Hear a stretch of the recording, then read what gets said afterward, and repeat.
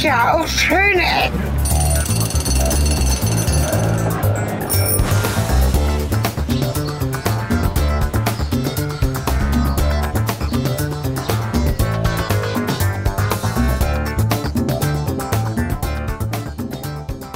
Wir sind in Gronde, einem Stadtteil der Gemeinde Emmertal. Dabei wird es heute weniger um die Stadt als um das Kernkraftwerk Gronde gehen. Wir behandeln dabei auch das Thema Atomangst der 80er Jahre und hangeln uns dabei am Werk Die Wolke von Gudrun Pausewang entlang. Wer sich mit solchen schweren Themen im Moment lieber nicht konfrontiert sehen möchte, dem oder der sind wir wirklich nicht böse, wenn ihr an dieser Stelle die Pause-Taste drückt. Tja, Da sind wir wieder. genau. Und vier Hühner. Zu den schönen Ecken, genau. Ich, wir nennen sie Hani, Nani. Fanny und äh, Randy. Der eine ist ein Hahn. Ach so. Manni. Joe. Ja, wir sind auf dem Dorf. Und technisch weiterhin auf der Weser-Tour oder Weser-Bergland-Tour. Allerdings geht es heute ein bisschen um was anderes. Auch nicht um Hühner eigentlich, aber die waren so schön. Und passen so schön zu der Dorfidylle, die wir jetzt hier einfangen. Das Geräusch. Das Geräusch des Autos und Das Geräusch ist einfach schön, was die Ja. Hühner machen. Ich würde ihnen gerne was geben, aber ich gehe davon aus, dass das nicht, A, nicht gewollt ist von den Besitzern und außerdem liegt da auch noch ein Apfel insofern. Aber jetzt haben sie auch keinen Bock mehr auf uns. ja. Nee, ne? Jetzt, jetzt fragt ihr euch, was wollen diese Affen von uns? Genau. Thema der Folge ist, dass aus Sicht meiner Jugend diese Hühner möglicherweise einfach gar nicht mehr lebendig wären und die existieren würden, wenn das passiert wäre, wovor wir in den 80er Jahren Angst hatten. Müssen wir jetzt eine Triggerwarnung rausgeben? So macht man das doch heutzutage, genau. Muss man das machen? Das Thema ist ja auch nicht mehr so triggernd. Also hoffentlich. Nee, zum Glück nicht. Genau. Vielleicht habt ihr jetzt im Titel gelesen, dass wir in Gronde sind. Und Gronde kennt man ja auch. Man kennt so ein bisschen diese Kernkraftwerksortsnamen, oder? Das ist wie Autobahnraststätten und Autobahnkreuze. Ich muss sagen, ich kenne die nicht so. Echt? Aber das Dann ist, ist wahrscheinlich, alles- weil, weil du hier aufgewachsen bist, hast du eine entsprechende Blase als Blick und äh, nimmst das wahrscheinlich dann auch ganz anders wahr. Mhm. Ich bin ja einfach nicht in der Nähe von sowas aufgewachsen. Das nächste bei uns war halt Richtung Aachen und äh, mit, äh, in der Nähe eines Kernkraftwerks wohne ich erst seit wir im Emsland sind. Also Ach ja. Ist es so 25 Minuten entfernt. Und das läuft noch? Nee, ne? Oder? Äh, ich glaube, das Lingener Kernkraftwerk ist noch aktiv, ja. Ja. Zumindest sehe ich da regelmäßig die Wolken drüber. Also wenn sie das nicht aus irgendwelchen Gründen, Aus Nostalgie. äh, aus Nostalgiegründen befeuern müssen, ich glaube, das ist zu teuer. Nee, nee, das läuft noch. Ich gucke gleich mal, wie lange das noch läuft, weil Moin. morgen, genau. Das ist das derselbe wie eben gewesen. Das kann sein, aber der sagt halt immer morgen. Wir sind auf dem Land. Auf dem Land Ja. begrüßt man sich noch. Das finde ich sehr schön. Ja, Grunde ist ja ein ganz kleines Dorf, über das wir auch gar nicht so direkt sprechen. Wir wollen als Startpunkt nutzen, um mal auf das Kernkraftwerk Grunde zuzulaufen. Das hier seit 1983 äh, seinen Dienst verrichtet. Das Kernkraftwerk Lingen war ein Reaktor, steht hier übrigens. Okay. Aber warum ist dann der Kühlturm noch regelmäßig? Na, wenn man auch ein abgeschaltetes Kraftwerk weiter kühlen muss. Ach so.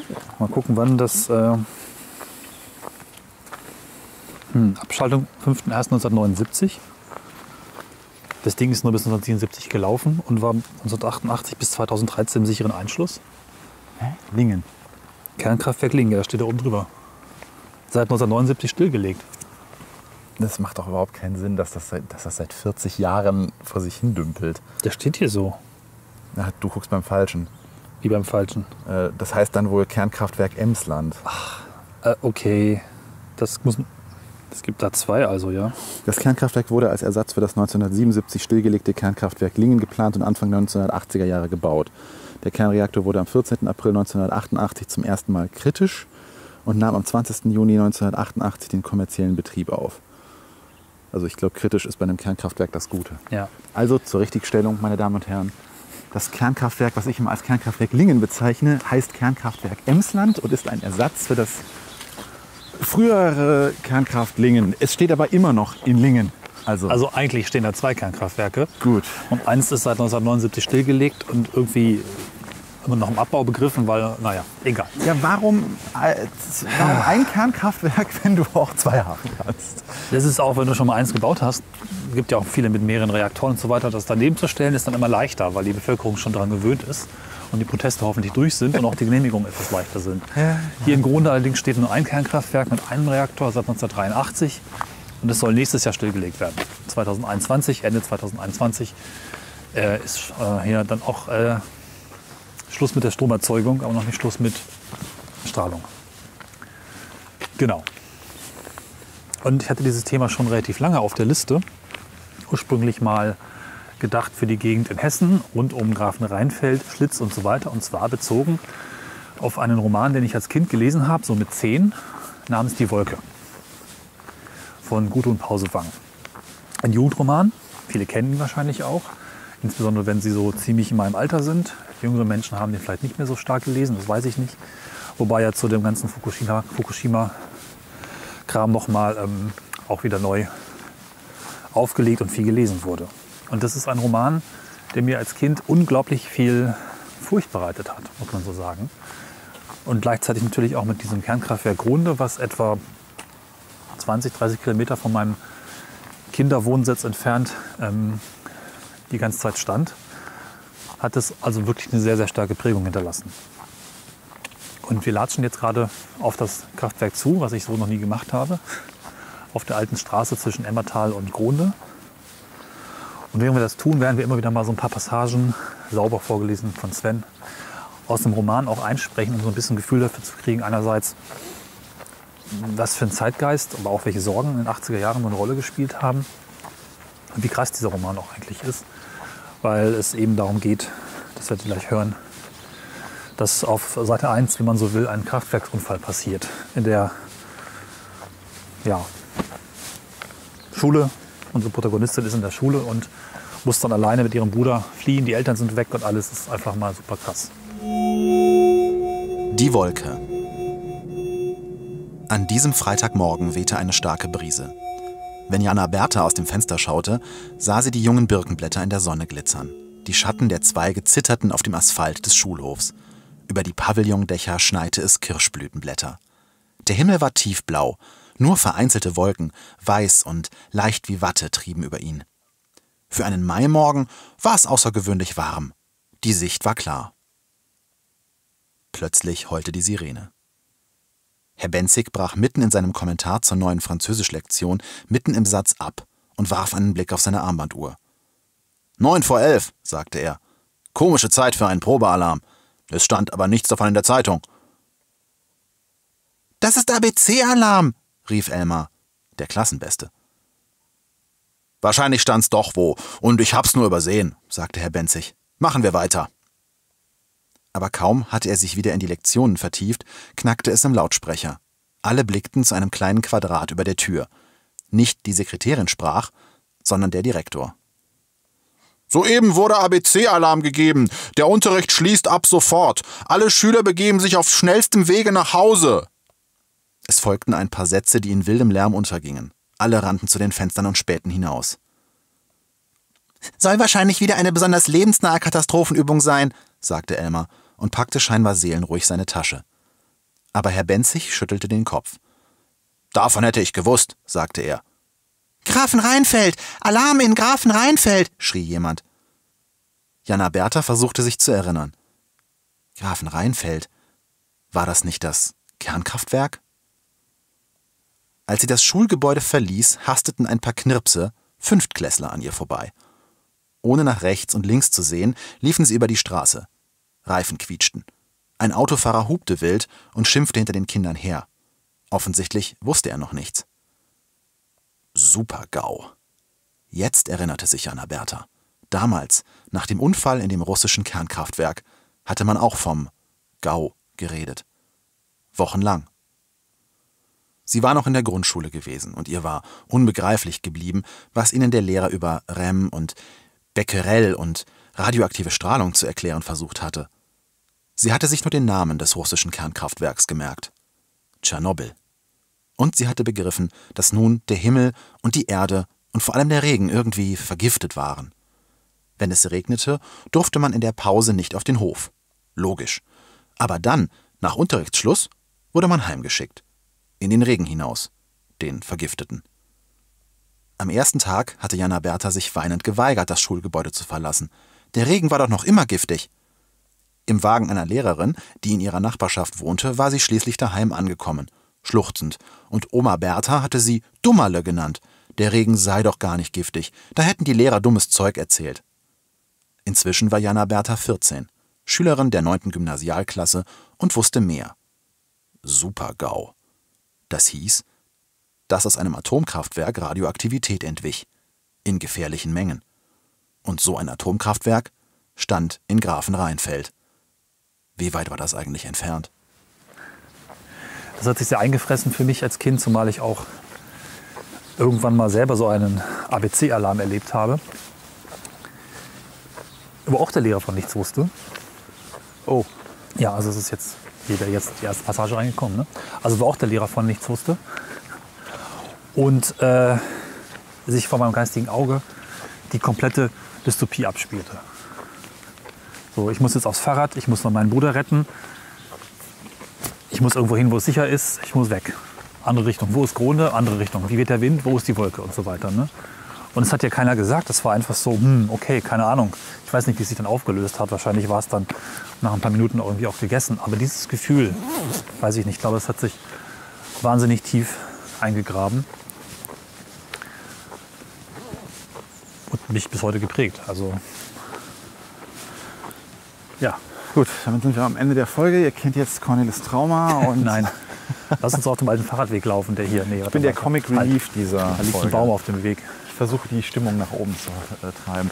Ja, äh, nee, es, ähm, Nee, ich, kann das, ich kann das komplett nachvollziehen, auch wenn ich es so nicht erlebt habe. Also A, muss ich sagen, dass ich bis, äh, äh, ja, bis wir mal irgendwann auch in einem anderen Kontext darüber gesprochen haben, diese, diesen Roman gar nicht kannte.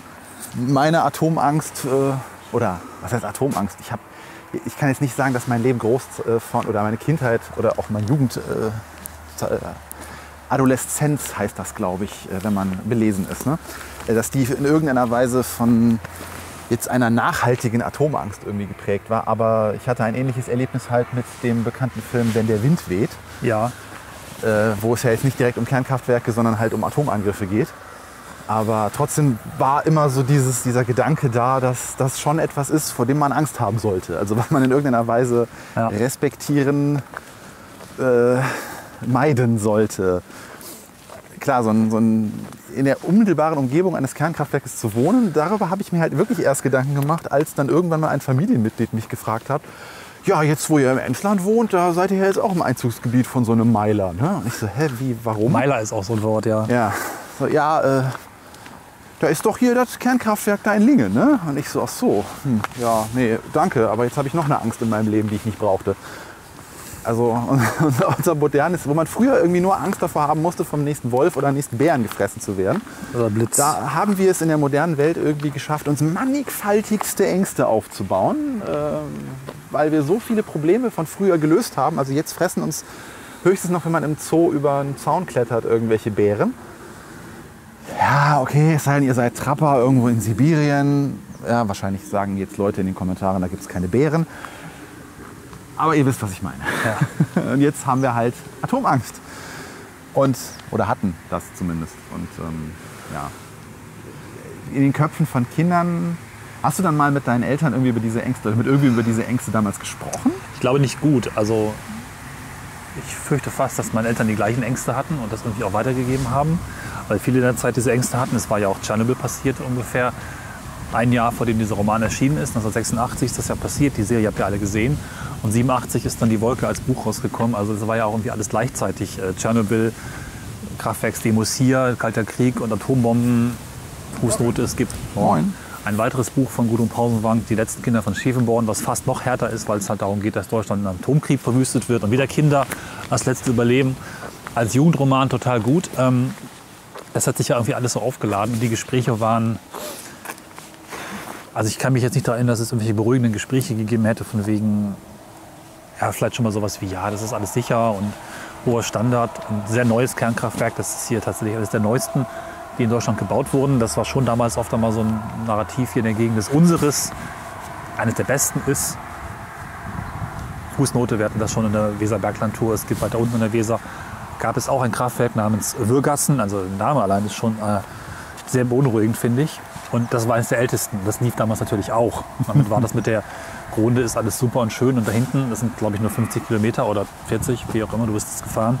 Äh, ein bisschen albern. Und Würgassen, wir sind als Kind mal dran lang gefahren, war einfach nur so eine Bretterbude in meiner Erinnerung. So ein düsterer Kasten, nicht mit dieser schönen, irgendwie auch sicher aussehenden Kuppel, sondern einfach nur so ein brauner Kasten.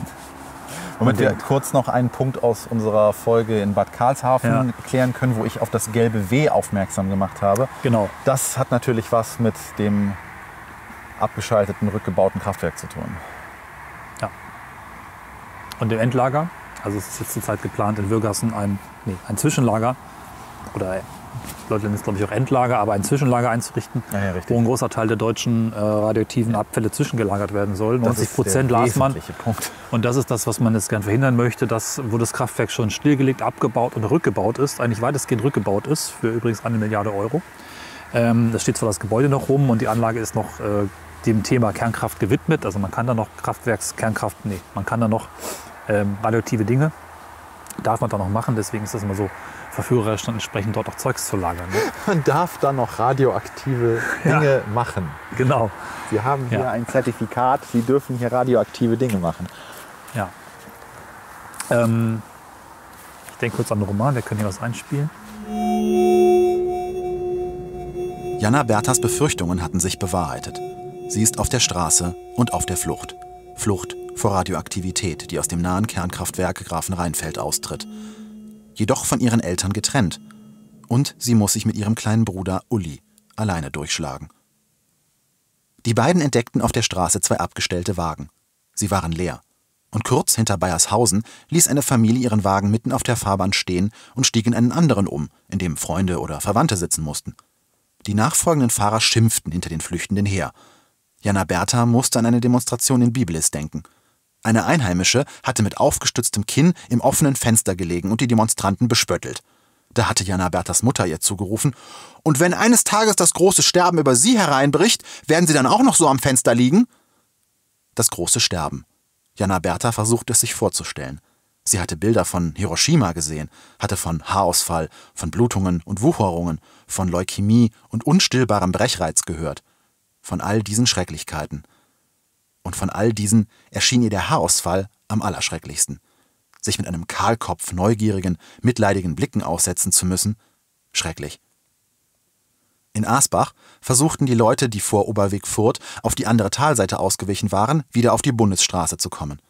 Eine Doppelschlange, die durch das ganze Dorf bis auf die andere Talseite reichte, staute sich vor der Kreuzung, auf der fünf Fahrzeuge ineinander verkeilt standen. Darunter ein Bus mit Anhänger. Der Lichterloh brannte. Auf den Bürgersteigen beiderseits der Kreuzung gestikulierten die Insassen der Wagen und schrien durcheinander. Es stank nach verbranntem Lack und Gummi, und die Buspassagiere, ältere Leute allesamt, Kaffeefahrtgäste, standen verängstigt am Straßenrand. Stau auf der Hauptstraße, Stau auf der Nebenstraße. Uli hielt sich vor dem Hubkonzert die Ohren zu. Breitbeinig stand er über seinem Rad und starrte in die Flammen. Wir müssen weiter, sagte Jana Bertha mit einem Blick über die Schulter. Von Bad Hersfeld her näherte sich ein grün-weißer Polizeiwagen. Niemand machte ihm Platz. Er quetschte sich am Straßenrand entlang. Vor der verstopften Kreuzung bremste er und stellte sich quer. Drei Polizisten sprangen heraus.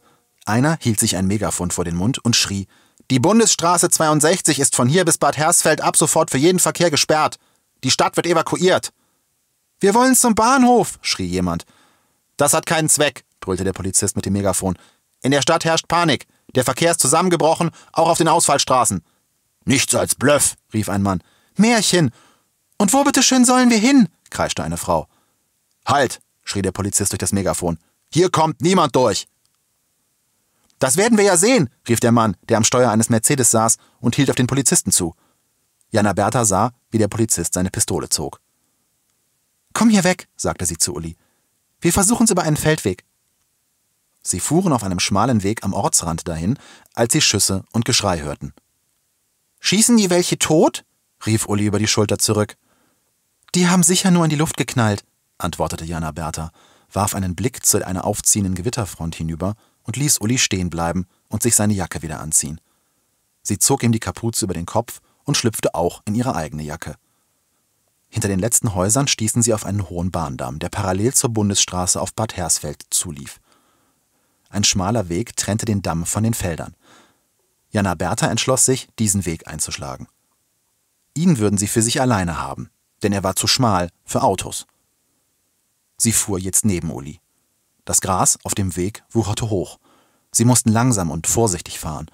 Uli schnaufte und wischte sich mit dem Arm über Augen und Nase. In der Ferne hörte Jana Bertha Motorengeräusche. Sie drehte sich um und sah, dass eine Wagenkolonne von der Straße herüberzukommen versuchte. Der Feldweg wurde immer schmaler. Von beiden Seiten wucherten ihn Brennnesseln fast zu. Sie peitschten Uli ins Gesicht. Dann löste sich die letzte Spur des Weges in einer Viehkoppel auf. Sackgasse. Uli klammerte sich an sie und sie umarmte ihn. Was nun? Zurück ins Dorf, um einen anderen Weg nach Norden zu suchen?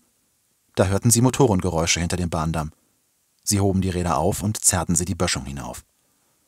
Jana Bertha stolperte und rutschte wieder ein Stück hinunter. Uli war zuerst oben. Jana Bertha, rief er aufgeregt. Da unten ist ein toller Weg, fast so gut wie eine Straße. Sie schob das Rad über den Rand der Böschung, sah, wie sich Uli jenseits der Eisenbahnschwellen auf den Sattel schwang, hörte, wie unten ein Auto vorbeifuhr.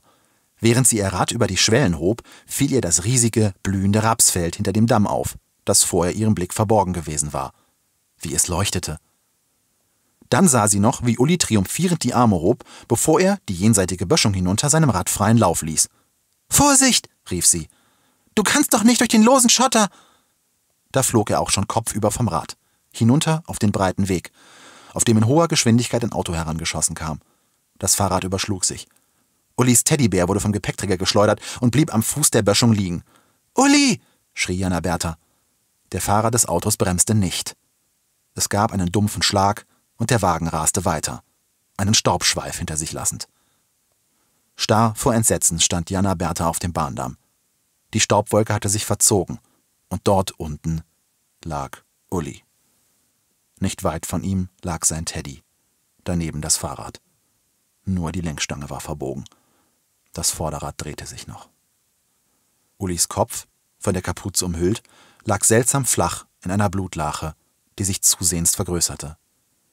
Jana Bertha warf das Rad hin, stürzte die Böschung hinunter und kauerte sich neben Uli. Sie streichelte seine Hand, die noch ganz warm war. Sie drehte sich nicht nach der Autokolonne um, die vom Dorf herankam. Hier lag Uli, hier konnte niemand vorbei. Sie blieb mitten auf dem Weg hocken. Der vorderste Wagen bremste. Ein bärtiger Mann und eine rotblonde Frau stiegen aus. Hinter ihnen wurde wütend gehupt. Immer mehr Hupen lärmten. Der Rotblonde zog Jana Bertha hoch. Ihr wolltet wohl auch auf den Bad Hersfelder Bahnhof, sagte sie. Steig ein, sagte der Bärtige. Wir nehmen dich mit. Meine Kinder rücken ein bisschen zusammen. Uli muss mit, sagte Jana Bertha.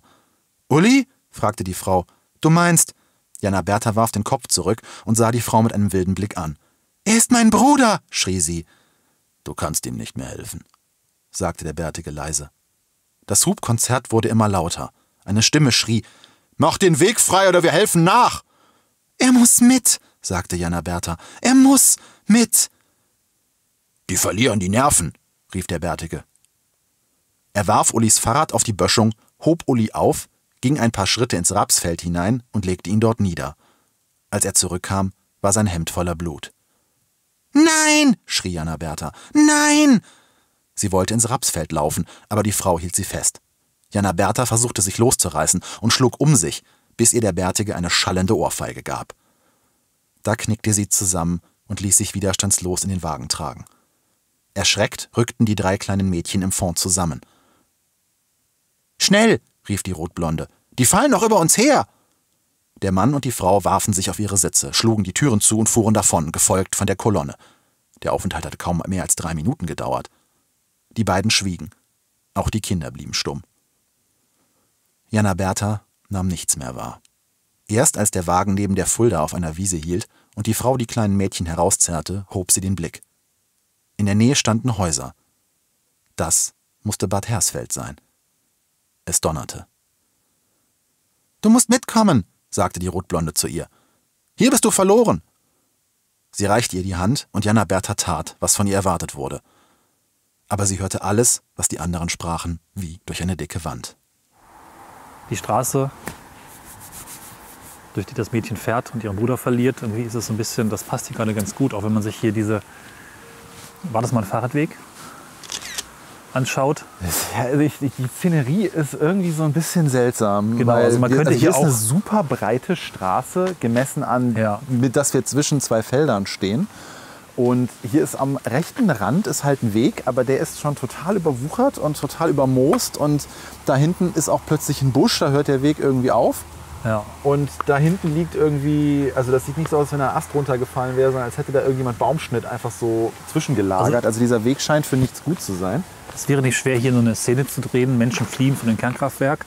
Äh, machst noch irgendwie so ein bisschen einen Farbfilter drüber und vielleicht noch ein paar Risse in den Reaktor, machst in diesen Umloch rein und die Szene ist fertig. Also man könnte hier mit wenig Geld äh, einen solchen Film drehen. Und ich muss gerade an Dark denken, die Serie, die ja jetzt auch viel Aufmerksamkeit bekommen hat in den letzten drei Jahren, glaube ich, in zwei, drei Jahren. Wo man irgendwie auch ein Kernkraftwerk irgendwo, wie heißt der Ort? Nicht Winden. Winden, genau, Winden. Ähm, lustigerweise mitten in die Pampa gestellt hat, ohne Fluss. Merke, Kernkraftwerke eigentlich immer am Fluss. Und äh, ja, das äh, irgendwie ist das Thema dann doch wieder so ein bisschen aufgetaucht in den letzten Jahren. Da gibt es dann noch die lustige Anekdote zu, dass das Kraftwerk in Winden, also was in der Serie Dark äh, also mit einer der Protagonisten eigentlich fast schon ist, also dieses Kraftwerk, dass das auf dem besagten Kernkraftwerk Emsland, was ich immer als Kernkraftwerk Lingen bezeichne, basiert, weil die Showrunner in der Gegend aufgewachsen sind. Also für die ist diese wahrscheinlich auch diese Atomangst in gewisser Weise prägend für die Serie gewesen. Ja. Ja, Ja, auf jeden Fall, ähm, um noch mal kurz auf diese Straße zurückzukommen, die wir eben beschrieben haben. Es ist halt eine sehr breite Straße, also das ist sehr breit. Also stellt euch auch bitte keine achtspurige Autobahn vor. Aber ich finde dafür, dass sie halt ne, mitten zwischen zwei Feldern ist, zwar- also locker zwei Fahrspuren hier und wahrscheinlich um irgendwelche Transporter hier durchzukriegen, ohne dass die Fahrprobleme kriegen, whatever. Und ja, der, wie gesagt, dieser Weg hört einfach da vorne an diesem Busch, an dem wir jetzt gerade vorbeigegangen sind, auf. Und jetzt säumen hier halt Bäumchen so links und rechts den Weg. Und das sind schon, was hast du eben gesagt, zwei Kilometer 1, bisschen, ja. Von der Stadt halt etwas außerhalb. Als würde man noch mal so demonstrieren wollen, ja, so ein bisschen Sicherheitsabstand geben wir. Ne, damit, wenn das Ding hochgeht, ihr noch 1,5 Sekunden länger Genau. äh, Ja. über euer Leben sinnieren könnt. Also es wirkt wie so, eine, wie so ein, wie so ein Pseudo-Abstand irgendwie. Klar, das Ding ist natürlich jetzt auch einfach mega hässlich und man möchte nicht, dass, Hast du nicht vorhin gesagt, das ist schön? ja, aber jetzt so aus Ästhetik, neben der ich wohnen möchte. Also Ja, ich, gut, das das, das eben war nicht in der Folge, wenn ihr euch jetzt fragt, wo ich das gesagt habe, sondern das war auf unserer Autofahrt hierhin, wo wir Unsere das Kraftwerk einmal, einmal Umrundung, genau, genau. einmal umrundet haben. Ja. Und äh, da sagte Cornelis so, ja, nee, was hast du gesagt?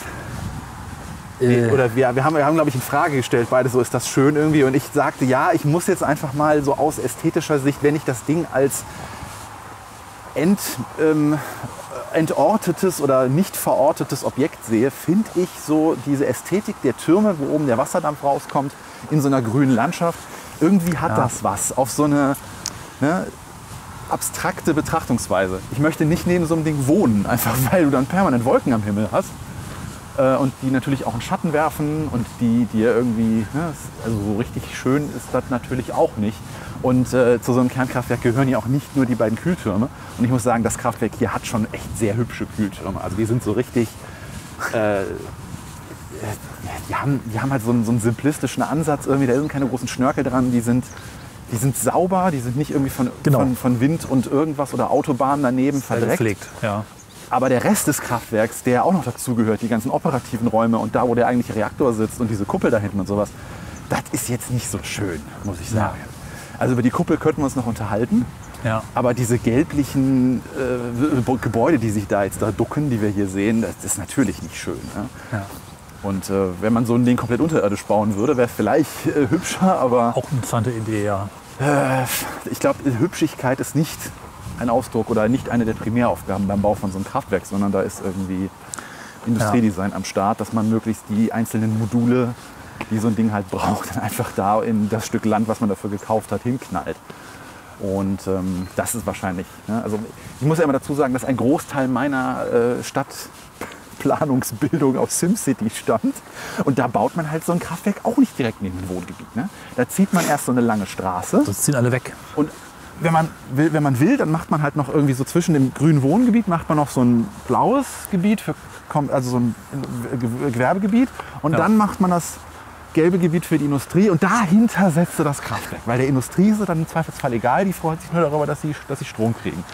Strom Ja. mit geringer Ist Latenz. denn billig, ja, ich wollte sagen, ist denn billiger, wenn der direkt ab Werk, Ich quasi Werksverkauf, glaube nicht. Stromwerksverkauf, ja. Aber eigentlich wäre es Ähm, logisch. Ne? Je weiter ja. man von dem krafterzeugenden Ding weg wohnt, desto teurer müsste der Strom eigentlich sein, Ja. weil die Transportkosten. Transportkosten ja höher werden. Gut, aber da das Also- Ganze ein Netzwerk ist, ist alles nicht so einfach. Genau. Wir kamen übrigens drauf, ähm, weil du meintest, hm, die Kernkraftwerk wäre doch noch so eine moderne Technik und es würde sich so neu anfühlen. Dieses Kraftwerk steht jetzt hier seit ähm, äh, 37 Jahren, glaube ich. Ne, das sagte ich auch eben auf der Fahrt hierhin. Ja, also, dass, genau. dass sich für mich Kraftwerk, also Kernkraft immer noch so neu anfühlt. Und es hat ja auch noch, eine, es hat ja diese doppelte Ikonografie. Einerseits äh,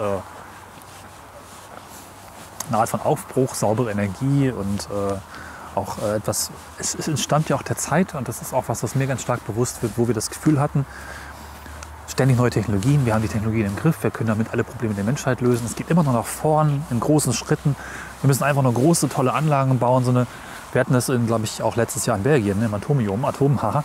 Also dieser Aufbruchsgeist, dieser jetzt haben wir die Kriege überwunden, jetzt haben wir die Energieprobleme überwunden, jetzt bauen wir uns die Welt so, wie sie uns gefällt. Ne? Und das ist alles überhaupt kein Problem, bis dann die Probleme anfingen. Ne? Und dann ist auch diese Ikonografie gekippt in dieses äh, typische Bild von hier äh, Kühlturm plus Kuppel und Schornstein gleich schlimm. Was die Atomkraftgegner ja auch dankenswerter, also danken, dankend aufgenommen haben, dass man ihnen diese recht schöne Ikonogra Ikonografie geliefert hat. Die älteren Kernkraftwerke, die einfach nur so ein Kasten waren, hätten damit eben nicht so gut harmoniert. Wobei gut, Kühltürme hatten sie auch. Also es ist schon sehr, sehr, sehr aufgeladen, auch gerade wenn man in der Region aufgewachsen ist, gibt es auch noch eine spannende Geschichte, die ich vielleicht noch mal hier auch mit einem Foto gleich belege. Im Vorwort von der Wolke schreibt mich gut um Pausewang, dass sie versucht hat, an Katastrophenschutzpläne zu kommen, weil nie welche bekommen hat. Ich so, hm, ich mal gerade auf einem. Ich glaube, man darf das mittlerweile erzählen, weil es einfach verjährt ist. Mehr als 30 Jahre ist es her. Ähm, über den Beruf meines Vaters war es tatsächlich so, dass wir wohl einen Fehldrucke bekommen hatten von Katastrophenschutzplänen zum Kernkraftwerk Gronde. Und Das zwar war sehr fatal. mehrere tausend, also es, meiner Erinnerung waren das mannshohe Stapel an Papier. Und um Geld zu sparen, haben wir auf diesen Katastrophenschutzplänen Rückseiten unsere Kinderzeichnungen von Treckern und Blumen gemacht. Und du wunderst dich, wo deine Ängste herkommen. Konntest du denn wenigstens, hättest du im Fall einer Evakuierung dann auch gewusst, wo du hin musstest? Oder waren die Fehldrucke so fatal falsch, dass sie so zeigen in die falsche Richtung? Ich weiß nicht, Oder? was daran falsch war. Das Problem war aber, dass immer gleich 500 von einer Seite kamen und die waren einfach nicht, es gab halt keine vollständige Ausgabe. Ne? Ja, natürlich. Wenn man so eine Offset-Maschine anwirft und dann so druckt, dann kommen da erstmal 500 Stück raus. Das Genau. ist, äh, Das Das Foto, ist was kein ich euch Scherz, jetzt zeige, äh, liebe Community, sondern das ist tatsächlich so. Bei Offset-Maschinen geht nicht irgendwie so Druck mal eins, sondern Ja. die muss erstmal warm laufen, dann kommen da 30 Stück raus. Dann sind die alle erstmal nicht zu bewerten. Dann muss man warten, bis dann der erste richtige kommt. Und dann kannst du die auch nicht direkt anhalten, Ja. sondern dann floddern da mal direkt so 100 Stück durch. ich habe dir ja eins davon geschickt, ich weiß nicht, ob du es mal gelesen hast. Hattest du? Ja, sah so aus. Achso, doch, natürlich. Ja, ja, ja. Das hatte ich, ja, ja. Alarmstufe, Bei, Katastrophenalarm bei, bei, bei, dem, bei dem Plan dachte ich gerade wirklich an so einen schematischen Plan Nee, nee, nee, mit das Dings. war ich wusste nicht, nur langweiliger von, Text, äh, in dem dann so alter Kapazitäten von äh, Turnhallen genannt wurden, wo dann Menschen zum Duschen hingeführt werden sollten. Und hier zum Beispiel geht es darum, für die Ausgabe von Kaliumjodid-Tabletten ist folgende Zuständigkeitsverteilung zu beachten. A. Für die Bevölkerung verteilen die Gemeinden nach eigenem Plan. Nur mal kurz zur Einordnung. Konnte da, äh, wusste äh, dein Vater, dass du, also konntest du da schon lesen, als du die Dinger zum Malen bekommen Nee, hast? ich war ja zehn. Ich, wie gesagt, ich habe bei Gudrun Pausenwagen im Vorwort gelesen, dass die die gerne bekommen hätte. Ich so, hey, ich kann dir welche schicken, ich habe die hier. Ne? Also, also dein Vater hat sich einfach gedacht, so, "Na, das kann der Bub verarbeiten. ja, weiß ich nicht, vielleicht war es auch also die Kostenersparnis. B. Für eigene Einsatzkräfte, einschließlich Verbindungspersonal und Mitarbeiter, verteilt die Kreisverwaltung Hameln-Pyrmont nach eigenem Plan. Vergleiche 6-3. Und C. Für Einsatzkräfte der im Landkreis Hameln-Pyrmont stationierten Fachdienste sowie für herangeführte Kräfte verteilt die Polizei und die Trägerorganisationen nach eigenem Plan. Wie gut das wohl funktioniert hätte. Ne? über Transport und Unterbringung von strahlenüberexponierten Personen ist nach Lageentwicklung und nach vorheriger Absprache mit der in Frage kommenden Krankenanstalt zu entscheiden. Krankenanstalt. Strahlenüberexposition, das ist halt wirklich krass, oder? Sehr froh, dass da, noch, dass da nicht mehr Invalidenhaus stand. Ja. Was an dieser Geschichte die Wolke so interessant ist, dass sie, glaube ich, auch äh, der ganzen Entwicklung in Japan sehr ähnlich ist, weil drumherum das Land hat irgendwie weitergemacht. Ne? Es wurde halt irgendwie Sperrzonen wurden definiert, mehrere Stufen wurden definiert, was sie wahrscheinlich damals auch versucht hat, aus diesen Plänen entsprechend zu entnehmen. Und äh, irgendwann kann man auch wieder so ein bisschen zurückkehren. Die Eltern sind halt dummerweise irgendwann tot. Der Bruder sowieso, wie wir gehört haben. Und äh, die Tante lebt halt, glaube ich, noch in die Oma, weil sie auf Mallorca war. Gut. Ja. Ich verstehe ja ehrlich gesagt nicht, warum man sowas als Kinderbücher macht. Genau, das ist gerade die Frage, die ich eben auch stellen wollte. War das gut? Ich meine, klar ist das eine klare politische Message damit verbunden gewesen, die nicht nur auf die Kinder gestrahlt hat. Ja, aber Ähm. was, ist die, was ist der Gedanke dahinter? Also Ja, die Kinder darauf sanft vorzubereiten, so das könnte euch passieren, bitte werdet damit. Oder ist das ganze Buch so eine Art von Protestkonzept unter dem Motto, ich bringe das jetzt mal raus, um auf diesen Missstand aufmerksam zu machen und äh, bringe das auch im kindgerechten Format raus, damit das für die Bevölkerung ach, also umso schockierender wird, dass ja also dass, dass Kinder quasi noch näher an das Thema rangerückt werden, damit sich Eltern darüber Gedanken machen und sagen, das will ich nicht für mein Kind. Also ich will nicht, dass das nicht mal die ne? Möglichkeit entsteht, dass Geschichten für, mit diesem Thema für meine Kinder erstellt werden. Also Ja. das wäre mal ein sehr interessantes Ding. Le- Ja. Lebt die Dame noch? die ist gestorben dieses Jahr Schade. mit 92. Immerhin, Hätte ich respektables jetzt Alter. fast gesagt, wir müssten mal gucken, ob man die nicht für ein Telefoninterview Ja. bekommt. Also auch hier kann ich noch eine andere Geschichte einfügen. Die Angstkultur der 80er Jahre, die auf mich so gewirkt hat, das war eben nicht nur Kernkraftwerke und Strahlenangst, sondern auch Waldsterben damals. Und da gab es auch einen Film von einem Autor, der für den Hessischen Rundfunk einen Film produziert hat, namens Karl Schlag, der Waldreport 2010, glaube ich. Wo er eine Welt zeigt ohne Wald mit so damals hochmodernen Fotosimulationen oder Videosimulationen. Und den Typ habe ich mal angerufen tatsächlich, dann später. Weil ähm, das ja nicht so ganz so eingetreten ist. Kann man sich jetzt aktuell wieder streiten, aber er hat dann damals gesagt, das war auch schon im Jahre 98, er hätte nach bestem Wissen und Gewissen gehandelt. Das war damals der Stand der Wissenschaft und es war wichtig, eben diese Nachricht zu bringen. Er wollte damit wirklich nur aufklären ne? und nicht irgendwie verstören oder sowas. Also er hat das wirklich eine Überzeugung getan, dass es der Gesamtsituation hilft. Und ich denke, dass Gut und Pausewang das eben auch so versucht hat. Aber das hatte ich dann auch noch mal bei einigen Kommentaren gefunden bei, bei, bei Amazon, dass es halt einfach auch anscheinend vielen Menschen in meinem Alter ernsthafte, das, das, das Wort des Traumata vielleicht ist zu stark gegriffen, aber es ist halt so tief in den Geist eingesickert, dass es nicht ohne Folgen geblieben ist, nicht ohne wiederkehrende Grübeleien, vielleicht auch eine gewisse Haltung, die auch wiederum ganz gut ist. Aber viele Menschen sind nicht ganz frei von Ängsten, die sich dann irgendwie auch verselbstständigen. Und gerade in diesem Jahr ist das was, was ich durchaus wieder mehr gemerkt habe. Und auch einen solchen Nährboden, der durchaus mit solchen Büchern und solchen Filmen und Medien verknüpft, die man als Kind dann schon rezipiert und mitbekommt. Ah, ich finde das sehr schwierig. Also ich würde vielleicht heutzutage einem zehnjährigen Kind nicht mehr so einen Dystopien-Roman geben, was es eindeutig ist. ne? Das ist einfach in einfachen Worten beschrieben, was ansonsten in schlimmen Katastrophenfilmen für Erwachsene gezeigt wird. Ja, aber auch heute gibt es ja durchaus Jugend, also ne, die- diese, diese Young Adult Genre-Nummer, die ist ja die letzten Jahre auch durchs Dorf getrieben worden, wo dann auch, also sämtliche dieser Filme, sei es die Tribute von Panem Ja. oder äh, The äh, Maze Runner oder äh, hier äh, hieß es Divergent und sowas, das sind ja alles dystopische Zukunftsszenarien, in denen halt Jugendliche oder Kinder in irgendeiner Weise ja, etwas durch, durchleiden müssen und irgendwie Ja. ihnen die Zukunft äh, verbaut wurde oder wie auch immer. Also ich, ich, ich, ich, ich verstehe immer noch nicht, warum.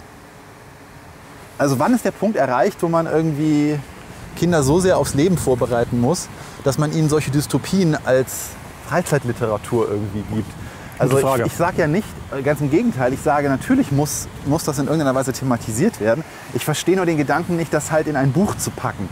Ähm, Vor allem wird dieses Buch dann auch oft unreflektiert gelesen. Also gibt es dann nicht unbedingt einen Lehrer, der es begleitet oder eine Unterrichtseinheit. Wir hatten es ja vorhin auch im Vorgespräch, dass Kernkraft durchaus auch positive Aspekte hat, die wir vielleicht kurz mal benennen möchten. Also es ist sehr schwarz-weiß zeichnen. Ne? Es ist halt wirklich, um einen Effekt zu erreichen, total auf die Spitze getrieben. Natürlich auch unter den Einwirkungen von Tschernobyl. Ne? Insofern Zeitgeist, ja. Vielleicht ist es auch wirklich äh, der Punkt des Vorbereitens gewesen, dass Gut und Pausewang davon ausging, dass das in absehbarer Zeit wieder passieren würde. Und wenn man so will, ist es ja auch in Fukushima wieder passiert. Und da sind ja auch Kinder betroffen gewesen, die möglicherweise genau so eine Geschichte erlebt haben. Schwierig. Und nebenbei finde ich diesen Kühlturm wirklich schön. Ähm, als bauliches Ding. Wir sind ja auch ein Architektur-Podcast und als äh, Leistung menschlicher Schaffenskraft, das, den Punkt habe ich ja schon öfter gebracht, letztens in Dubai. Hat es was, auch wenn diese Treppe an der Seite hochgeht, da würde ich gerne mal hochlaufen. Und so Kühlturm ist ja auch erstmal nur ein Kühlturm. Ne? Die gibt es ja auch ohne Kernkraftwerke.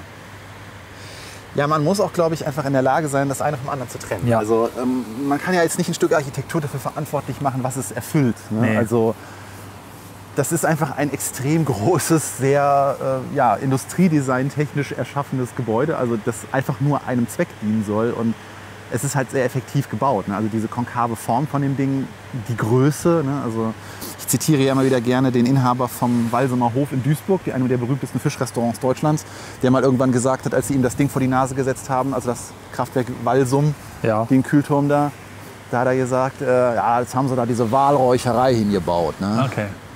Das äh, kann man halt auch mit Humor nehmen, aber ja, es steht halt für was. Und ähm, das ist natürlich was, das, das, da- das muss einem immer bewusst sein, aber man kann trotzdem auch einfach mal, ohne dass man sich dafür schämen muss, sagen, das ist schon irgendwie fat was. Ja. Und gerade die, das hier, also so idyllisch gelegen, wie das jetzt hier einfach ist, also wir sind ja immer noch im Weserbergland unterwegs, Mhm. ähm, die, die, die, die Hügelhänge hier, wo auch die Sonne gerade schön scheint. Wir haben einen fast klaren Himmel mit nur kleinen Wölkchen. Äh, Das, das gibt dem Ganzen jetzt auch so eine, diese, die, also eigentlich ist das, was wir jetzt hier gerade haben, ist glaube ich so der, der beste Vertical Slice von der äh, 60er Jahre Zukunftsvision, die man halt damals Ja. hatte. Ne? Von diesen retrofuturistischen Planstätten, die so in der Nähe von so einem Atomkraftwerk gebaut werden, wo dann halt saubere Energie und äh, Kinder ohne Sorgen aufwachsen können und äh, es wird alles in eine total saubere und schöne Zukunft irgendwie führen. Also wenn man auch- halt ja. so davor steht und dieses riesige Ding sieht und dann den Menschen sagt, und das, was da oben übrigens rauskommt, ist einfach nur sauberer Wasserdampf, Mhm. dann kann man das schon nachvollziehen, dass dann auch Leute Ja. gesagt haben, wow, ja, das ist die fucking Zukunft.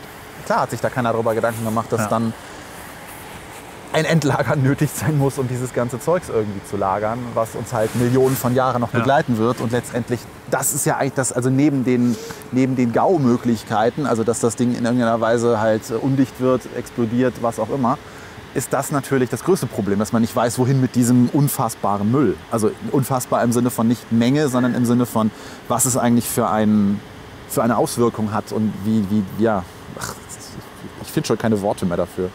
Ja. Ich habe es doch vorhin schon gedacht, mal bei der, bei der Anfahrt. Ne? Hier werden also auch Rüben angebaut. 100 Meter entfernt vom Reaktor. Ne? Klar. Warum auch nicht? Ja, äh, haben, wir was, haben wir was zum Mikrosievert-Messen dabei? Nö. ich bin auch tatsächlich ein bisschen erstaunt, ob meiner Ruhe. Ähm, vielleicht liegt es auch daran, dass es jetzt einfach hier 37 Jahre gestanden hat und all die Befürchtungen haben sich bis heute nicht bewahrheitet hier.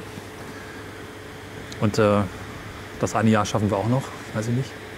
Ist ein interessantes Gefühl, aber nicht mehr dieses äh, beklemmende, als Kind hier lang, dran, dran lang zu fahren und zu denken, jetzt lass uns bloß schnell, schnell weiterfahren. Nicht, dass es exakt jetzt gerade explodiert, wo wir hier dran lang fahren. No. Wäre doof, wenn es trotzdem passiert. Aber halten die Speicherkarten eigentlich Strahlung aus? Ähm, ob wir Strahlung aushalten? Das Die Speicherkarten, nicht wir. Ach so, wir sind nicht so wichtig wie die Speicherkarten. Je nachdem. Also wenn wir dann schon Verstehe. hier verstrahlt werden, könnte man ja noch wenigstens mit Speicherkarten was anfangen.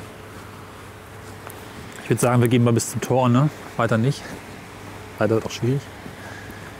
Dieses Tor sieht jetzt wirklich schon ein bisschen aus wie ein Dark, ne? Sieht so, Ja, es macht dir auf jeden Fall klar, dass du da bitte nicht rein sollst. ja, ist aber auch nicht die Haupteinfahrt, ne? Das ist, glaube ich, vorne, links von uns. Ach so. Äh, nehme ich Wofür an. hat man dann speziell diese riesige Straße Ja, angelegt? das wollte ich vorhin noch sagen. Diese Straße ist, glaube ich, die alte Verbindungsstraße zwischen äh, Gronde und Emmertal. Und die haben einfach das Kraftwerk ja so platsch auf die alte Straße gesetzt. Weil so vom Ortsausgangsschild her und der Struktur des Ortes dürfte es einfach ja, die alte Verbindungsstraße sein. Verstehe. Ja, was interessant ist hier von der Lokalität her, ist, dass hier direkt nebenan die Windkraftanlagen stehen. Ne? Wo man Ja. sich auch mal klar, ma- äh, klar werden muss, dass da stehen jetzt hier 1, 2, 3, 4, 5, 6, 7, 8 Windanlagen. Und die sind natürlich schön und nachhaltig und alles und äh, natürlich auch für manche Leute wiederum auch Aufregegrund, weil sie irgendwie Infraschall verursachen und äh, Schattenbildung machen und die Landschaft verhunzen und keine Ahnung was. Aber die liefern halt einfach nicht so viel Strom wie das Ding hier. Und damit äh, schlagen wir mal kurz die Brücke zu unserem Vorgespräch, was äh, ja noch nicht aufgezeichnet wurde. Ich hatte mir auf der Hinfahrt halt auch mal Gedanken darüber gemacht. Man kann natürlich Atomkraft sehr einfach verurteilen, dass sie halt diese Probleme macht mit der Endlagerung und keine Ahnung was. Aber auch ähnlich wie man die Architektur trennen muss von dieser Diskussion, kann man vielleicht auch mal einen Teilaspekt heraustrennen, wenn man sich mal überlegt, wie wäre es denn gewesen, wenn wir als Menschheit mit unserem Energiebedarf halt bis zu dem Zeitpunkt, wo Wind- und Solarenergie so ausreichend, äh, Sonnenenergie, Entschuldigung, so ausreichend zu nutzen gewesen wäre, äh, wenn wir diesen Energiebedarf mit äh, Kohle- und Ölkraftwerken Ja. gemacht hätten. Also wie, wie wären wir denn jetzt bei der Umweltverschmutzung da? Ne? Also wenn all diese, weil so ein Atomkraftwerk liefert halt Ja. auch einfach verdammt viel Energie für seinen Platzbedarf. Ja. Und das ist auch was, finde ich, was man in Diskussion streng genommen mit reinnehmen müsste. Weil wenn wir jetzt weitere 60 Jahre unseren Planeten mit dem Strombedarf, den wir nun mal Ja. haben, mit Kohle vollgepropft hätten, dann ja, herzlichen Glückwunsch. Aber und andererseits ist natürlich auch ein Aspekt. Und Ja. der zweite Aspekt ist, wo wären wir vielleicht, wenn wir diesen Energiebedarf nicht hätten decken können? Also sprich, wenn nie, also wie viele Innovationen an Computern, an äh, ja, allgemein der Technologiewelt ist möglich, weil wir auch Strom in die entlegensten Gebiete der Erde bekommen haben, wo Serverfarmen aufgebaut werden konnten und äh, sonst irgendwie was. Also das ist auch so eine Sache, wo ich mir die Frage stelle. Also wenn da jemand mich aufklären kann, sehr gerne, schreibt es in die Kommentare, meldet euch bei uns. Ähm, wo, wo wären wir heute, wenn wir diese, diese Energie nicht gehabt hätten? Und vielleicht wäre es dann gar nicht dazu gekommen, dass wir jetzt so auf Podcasten der, würden. Upsa. Auf der, dass wir auch als Menschheit auf der Kante stehen zu der Möglichkeit, dass wir es streng genommen alles mit nachhaltigen Energien eines Tages decken können. Ja. Und das ist ja immer noch so meine, meine vorletzte Hoffnung irgendwie, äh, dass wir es eines Tages dann vielleicht doch noch die Kurve kriegen, Mit bevor alles Blessuren zum Teufel wahrscheinlich, geht. aber irgendwie. Kurve, ja. Mit Blessuren wahrscheinlich Kurve. Und dazu brauchen wir ohne Frage Energie. Das ist, äh, wie man es dreht, ist es so, ne? Ja, wo gehobelt wird, da fallen Späne. Also Sehr schön es gibt auch. halt gewisse ja. Brückentechnologien, die für unseren Gesamtfortschritt wahrscheinlich nötig wären. Ich möchte nur jetzt noch mal, bevor jetzt jemand sich getriggert fühlt, klar machen, äh, ich, das war jetzt kein Plädoyer für Pro-Atomkraft. Ne? Also ich habe selber ähm, große Bedenken, was diese, was diese Strahlung und das alles betrifft. Aber ich finde, man sollte auch so einer Technologie gegenüber nicht komplett äh, verurteilend sein und auch vielleicht mal be zumindest betrachten, was halt eventuell als Brückentechnologie, als Zwischenlösung, als was auch immer notwendig ist, um eines Tages besser dazustehen. Und ob wir da gelandet wären, wenn wir das nicht gemacht hätten. Aber ja, das, ist, das ist halt ein schwieriges Thema und ist viel mit hätte, hätte, Fahrradkette. Insofern. Ich finde es gerade ganz schön, mal kurz zu hören, wir hören die Energie britzeln. Da oben. Ja, wir hören hier so einiges. Wir hören das Britzeln der Stromleitungen, wir hören Reakt also wir hören Kühlung, wir hören Grillenzirpen, wir hören das Wasser rauschen. Wenn wir mal kurz still sind. Wir hören den Reaktor reagieren. Ja, auf jeden Fall eine sehr gepflegte Anlage von hier. Ne? Also es sieht alles sehr, sehr gut aus. Also von der optischen Inspektion, äh, schöne Eckensiegel machen wir drauf, optisch Oh, genau. in Ordnung. Äh, wir sind natürlich staatlich geprüfte äh, Atomkraftwerk, ähm, Außenanlagen, Optikbewerter. Ähm, nicht.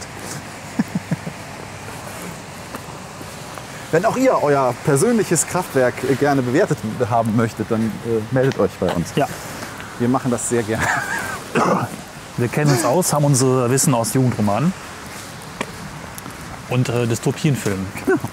Wir sind da, wir sind da sehr geprüft. Weil, das kann man noch mal ganz kurz vielleicht auch einpflegen, die Serie Chernobyl, habt ihr vielleicht auch alle gesehen. Das Kraftwerk da sieht ja total scheiße aus. Ne? Alles runtergekommen, alles zugewachsen, das kann ja auch nicht funktionieren. Warum sieht das so aus? weil es russisch ist? Nein, weil es 2020 in einem stillgelegten Kraftwerk gedreht wurde. Und ein stillgelegtes Kraftwerk sieht aus wie ein stillgelegtes Kraftwerk und nicht wie ein nagelneu so. gebautes Kraftwerk Okay. 1984 oder sowas. Und Das war übrigens gerade ein Scherz, weil das Ja. auch so Klischee, ein Klischee irgendwie von, äh, ne? was äh, russisch ist, muss immer so ein bisschen runtergekommen aus. Genau, und das ist tatsächlich auch, was man vielleicht auch kritisieren kann in der Serie. Denn Tschernobyl war wirklich nagelneu. Das war Hightech.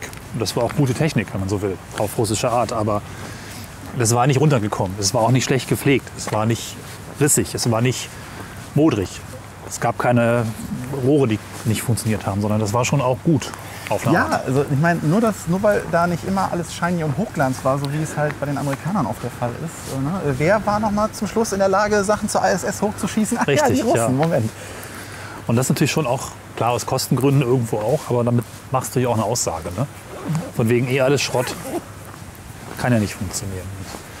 Die Probleme lagen durchaus woanders. Klar wurde Geld gespart, klar wurde, äh, gab es Fehler, die nicht vernünftig behandelt wurden, was man hätte tun können, sondern es gab ja Probleme in den Kommunikationsstrukturen, in Machtstrukturen und Abhängigkeiten und Ängsten vielleicht auch Ja, das vor. waren vor allem halt wieder mal, ne, der Ja. Fehler Mensch war da. Der Fehler Mensch, und richtig. Weniger die Technik an sich. Genau, es war nicht so, dass die Russen das nicht drauf gehabt hätten. Ja, ganz im Gegenteil. Genau. Und es laufen ja auch heute noch weitere Reaktoren dieses Typs, die auch gegen diesen Fehler später dann auch noch gestählt wurden. Also der zumindest wurde auch behoben. Das ist ja möglich. Und Ja, die Tragik war ja auch Ja. nicht. Also zum einen war die Tragik ja natürlich, wie es zu diesem Unfall gekommen ist. Das kann man in der Serie halt sehr detailliert sich nachgucken. Sollte man, sollte aber auf jeden Fall nicht vergessen, dass man sich danach auch noch mal ein paar Artikel dazu durchliest. Ähm, Das Ja. ist durchaus etwas gestreamlined und an einigen Stellen ein bisschen zeitlich äh, komprimiert. na, mindestens dramatisiert für einen Film. Und dramatisiert natürlich für die Serie. Aber den, den Effekt, der ist halt da. Das Ja. ne, zu verstehen, dass halt vor allem das menschliches Versagen war.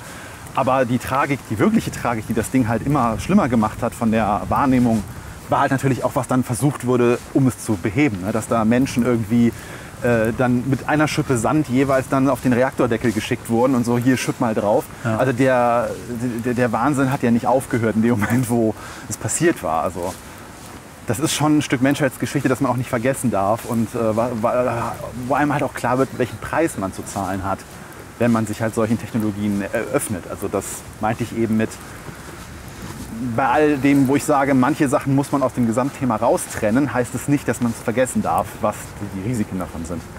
Ja. Ja, wir laufen jetzt zurück auf das Dorf Grunde zu. Das ist auch schon nochmal so der Blinkfigel aus dem Dorf.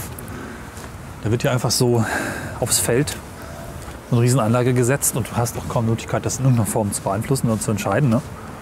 Und musst dann einfach damit leben. Das ist halt schon irgendwie auch so ein Aspekt, den man vielleicht noch mal kurz äh, hervorholen kann. Weil irgendwie Menschheit so beschließt, andere Menschen beschließen, ja, ja, wir machen das, das ist eine gute Sache. Hast du halt dann plötzlich 40 Jahre lang das genau vor dem Fenster stehen. Ne? Und gleichzeitig auch noch mal, ja, Image-Schaden weiß ich nicht genau, aber ob das jetzt hier die Immobilienpreise irgendwie gestiegen, äh, hat steigen lassen, ob das in dem vielleicht netten Dorf für Tourismus oder andere Besucher einen guten Ruf nach sich zieht, glaube ich ja eher nicht. Ne? Also das ist irgendwo, Da gibt Auch- es immer Leute, auch- denen das egal ist, klar. aber witzig, dass man sie entsprechend auch oft nach den Orten benennt, die daneben sind. Ne? Man könnte auch sagen, Kernkraftwerk Weser. Du meinst Kernkraftwerk Emsland? Ja, Da das ist ein gutes Beispiel. Es gibt ja auch das Vorgängermodell Lingen. Also ja, vielleicht ist das genau da passiert. Ja. Man hätte es ja einfach Lingen 2 nennen können oder so. Vielleicht hat man sich da überlegt, dass das politisch eine ganz gute Idee ist, es nicht so sehr mit der, mit der Örtlichkeit irgendwie in Verbindung zu bringen, um die Leute nicht zu upsetten. ist Ja, halt blöd, es wenn man dann ist, irgendwann das Kraftwerk-Song schafft. Ne? So. es ist ein schwieriges Thema. Aber vielleicht ist es halt auch die, äh, um, um zumindest jetzt mal diese, diese, diese Technologiefrage abzuschließen, vielleicht ist es aber auch das Kernkraftwerk an sich so das größte Mahnmal für eine Mischung aus äh, menschlicher Erfindungsgeist. So, es gibt ja diesen geflügelten Satz mit, der Mensch hat das Atom bezwungen. Das ist ja auch so ein Ding, was man mit Kernkraftwerken in Verbindung bringt. Und da ist ja auch schon wieder irgendwo was dran. Es ist te technologisch total faszinierend, was da irgendwie für Leistungen erbracht wurden, woraus man irgendwie Energie machen kann. Aber es ist gleichzeitig halt auch sowohl für diesen technischen Erfindungsgeist wie auch für das Risiko, was wir bereit sind, um in die Zukunft zu kommen, um schnell in die Zukunft zu kommen vor allem, ist es halt ein Mahnmal dafür. Ja. Also das ist auch so eine Gigantomanie des generellen Problems der Menschheit im Sinne von, wir wollen alles immer schnell, schnell. Ja. Und vielleicht ist es einfach insgesamt besser, wenn wir die 100 Jahre, nein, das ist zu viel, äh, wenn wir die durchschnittliche Lebenserwartung von 75 bis 85 Jahren irgendwie äh, etwas langsamer begreift und sagt, okay, wir, machen, wir gehen alles mal ein bisschen langsamer an und vielleicht war Atomkraft doch nicht so die beste Idee. Und das zählt, glaube ich, auf viele Technologien, dass man sie nicht so schnell rushen sollte. Also Ja. damit will ich nicht sagen, dass es überhastet ist im Sinne von, es ist schlecht gemacht, sondern man hat eben nicht. Aber ja, vielleicht muss man auch erstmal genug Fehler machen, um zu, diesem, zu dieser Erkenntnis zu kommen. Also spielt da rein, Sicherlich, sicherlich. sagte. Also äh, ohne die Dinge zu bauen, hätten wir einfach das Wissen nicht und was immer auch uns das für die Zukunft wiederum als Grundlage bringt, auch positiv. Ne? Ich muss gerade noch so denken, diese Kernkraftwerke war ja auch, glaube ich, noch, vielleicht waren sie die letzten Zeichen einer Zeit, wo man einfach alles, was ich vorhin schon kurz gesagt habe, machen konnte. Also äh, Anlagen für Milliarden von, von Dollars, von Euros bauen. Es gibt einfach keine wirklichen Grenzen, was weiß ich, dann Transrapid. Danach ist eigentlich nichts mehr passiert, wo man quasi unbegrenzt nach vorn geschaut hat und einfach, also Großprojekte sind mittlerweile da eigentlich vielleicht mal Flughäfen oder Hochhäuser, aber es hat sich vielleicht auf eine Art und Weise auch schon wieder etwas reduziert, was auch vielleicht ganz gut ist, auf eine andere Art und Weise nicht. Da habe ich aber eine ganz andere Wahrnehmung, muss ich sagen. Also allein wenn ich mir Dubai angucke, das ist auch so ein Ich spreche jetzt vor allem von Technologie. Ne? Ach so, okay. Ja, ja gut, die. Revolutionen finden im kleineren statt. Ne? Genau. Also jetzt sind es halt Smartphones und vielleicht ist halt der, die ganze Akkudiskussion im Moment so eines von diesen Sachen, wo man Vielleicht, ja. mehr jetzt akzeptiert, dass es eine Brückentechnologie ist, bis wir bessere Rohstoffe gefunden haben, um bessere Akkus zu bauen, die dann nicht Menschen ausbeuten und Landstriche veröden. Ja. Aber ähm, es ist halt einfach eine Notwendigkeit, um Mobilität zu erzeugen, die dann wiederum ein anderes Problem bekämpft, was gerade das Schlimmere ist. Ne? Ich äh, zeichne ja immer wieder dieses Bild von, wenn das Haus brennt und der Flocati deine einzige Möglichkeit ist, es zu löschen, ist es vielleicht das geringere Übel. Wir sind nun fast am Ende von Jana Berthas Geschichte. Durch die Strahlung während des Unglücks hat sie ihre Haare verloren. Neben Uli sind leider inzwischen auch ihre Eltern im Chaos der Evakuierung ums Leben gekommen. Nur ihre Großeltern, fernab der Katastrophe, haben auf Mallorca während eines Urlaubs überlebt und sind nun nach Hause zurückgekehrt. Jana Bertha betritt nun ihr altes Heim. Sie lauschte mit vorgerecktem Kopf, aber nichts rührte sich. Kein Knarren der Tür, die das Treppenhaus von der Wohnung trennte, kein Tack-Tack von Muttis Absätzen, kein Trippeln von Kinderfüßen war zu hören.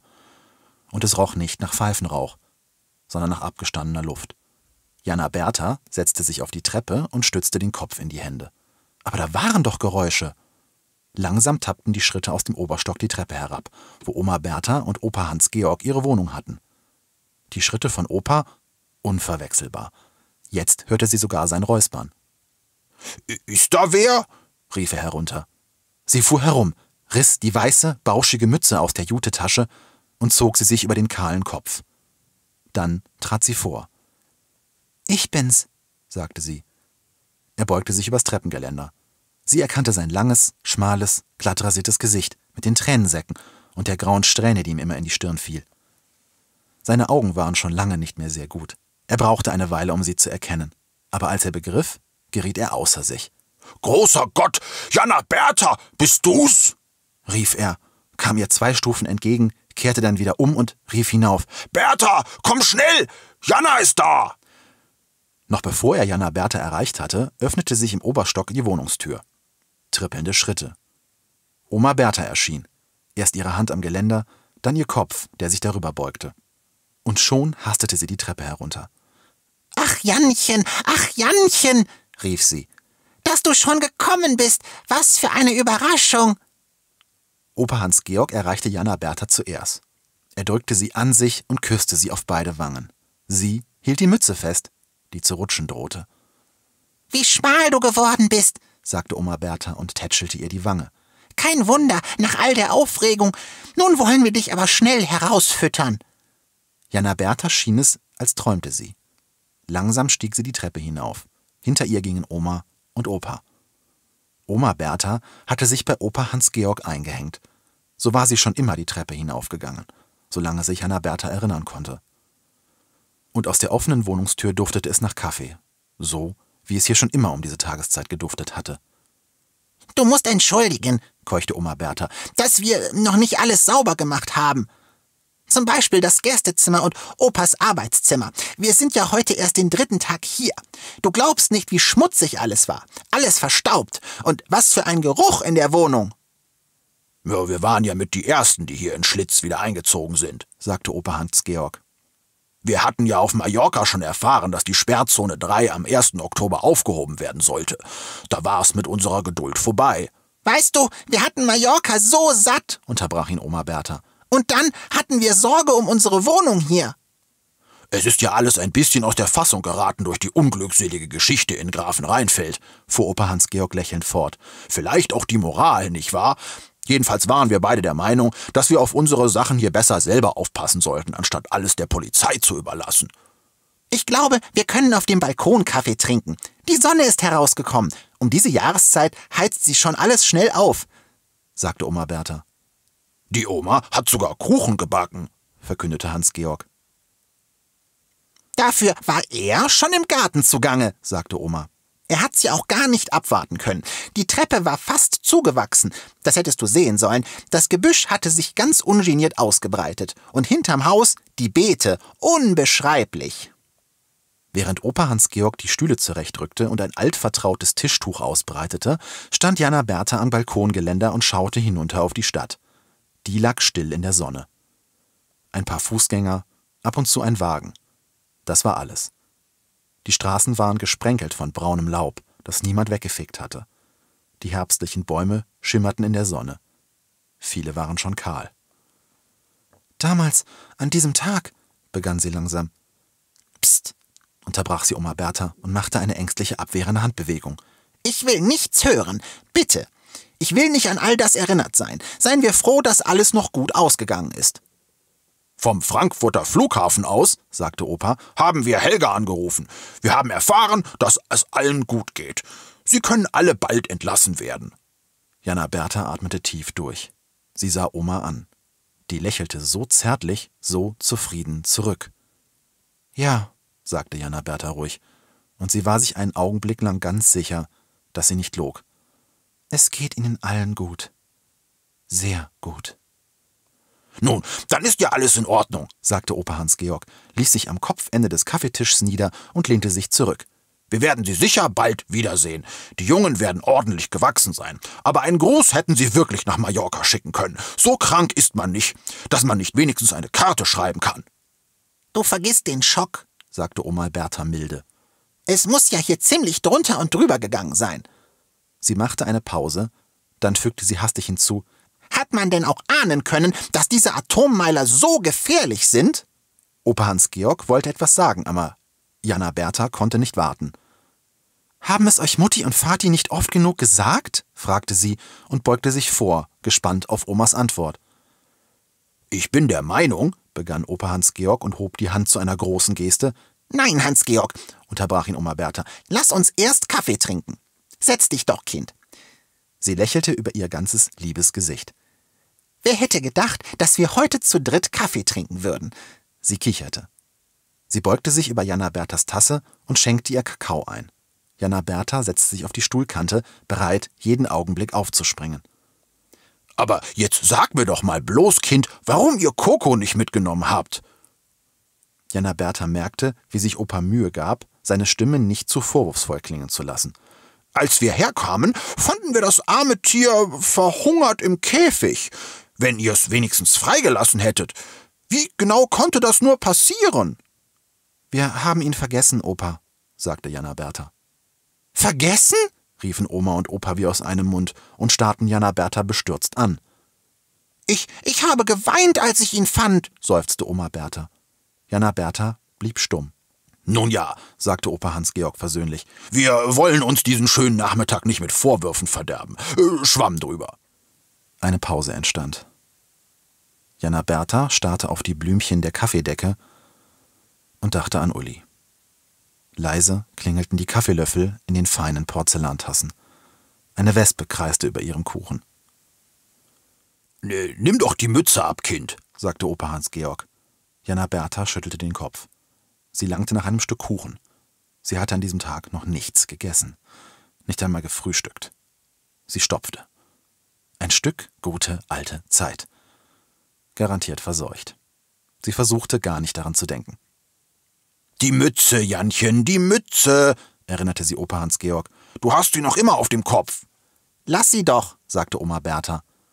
Und dann zu Jana Bertha. Sicher hast du sie selber gestrickt und bist stolz auf sie. Ich finde sie auch wirklich wunderschön. Du auch, nicht wahr, Hans-Georg? Mich stört die Farbe. Von weitem könnte man meinen, das Kind sei eine alte Dame mit weißen Haaren. Zumal sie ja ihr eigenes Haar ganz und gar darunter versteckt hat. Oma Bertha legte die Hand auf Jana Berthas Arm und sagte mit einer eigensinnigen Kopfbewegung: Mir gefällt sie. Und gerade die Farbe finde ich zauberhaft. Außerdem. Sie beugte sich wieder zu Opa Hans Georg hinüber. Vergiss nicht, dass das Kind eine Menge Aufregung hinter sich hat. Allerdings, sagte Opa Hans Georg und setzte geräuschvoll seine Tasse ab. Viel zu viel Aufregung, unnötige Aufregung, deutsche Hysterie. Wir sind hier 90, 100 Kilometer von Grafen Rheinfeld entfernt und auf in puren Verdacht hin scheucht man gleich die gesamte Bevölkerung weg. Wegen eines Verdachts legt man Fabriken still, lässt man das Vieh krepieren und die Ernte verkommen. Mir ist das einfach unverständlich. Es hätte doch genügt, wenn man Schwangere und Kinder für ein oder zwei Wochen evakuiert hätte, so wie es die Russen damals auch gemacht haben. Das muss man denen lassen. Die haben nach diesem Tschernobyl gezeigt, wie man solche Dinge in den Griff bekommt. Jana Bertha öffnete den Mund, aber Oma Bertha kam ihr zuvor. Aber Hans-Georg, sagte sie, es heißt doch, bei der Katastrophe in Grafenrheinfeld sei neunmal so viel Radioaktivität ausgetreten wie in Tschernobyl.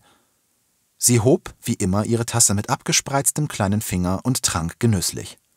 Uns kann man viel erzählen, sagte Opa Hans-Georg finster. Denk doch nur daran, was für eine Hysterie hier nach Tschernobyl ausgebrochen ist. Und wenn man mich fragt, dann sind es heute wieder dieselben, denen die Katastrophe gar nicht groß genug sein kann. Kernkraftgegner, Weltverbesserer, das ganze grüne Gesocks, das uns zurückschicken will in die Steinzeit. Aber in der Zeitung war doch von so vielen Toten die Rede, sagte Oma Bertha zu Hans Georg. Hast du sie gesehen? antwortete er mürrisch. Natürlich, im Kernkraftwerk und drumherum. Und dann dieses Verkehrschaos. Sie schrieben, es waren 18.000, sagte Oma Bertha. Opa Hans-Georg winkte ärgerlich ab. Ich will euch sagen, worauf es ankommt, dozierte er wie vor einer vielköpfigen Zuhörerschaft. Es kommt darauf an, dass solche Zwischenfälle vor der Presse abgeschottet werden. Dann käme so eine Hysterie gar nicht erst auf und man wäre von diesem an die große Glocke hängen und vor jeder Übertreibung sicher. Heutzutage wird viel zu viel aufgeklärt. Wozu muss Lieschen Müller über das Innere des Reaktors Bescheid wissen, über Rem und äh, Be Be Becquerel? Am Ende versteht sie ja auch nichts. Wozu muss alle Welt die Anzahl unserer Toten erfahren? Durch dieses äh, Großstadtkatastrophenmärchen wird unser Ansehen im Ausland unnötig geschädigt.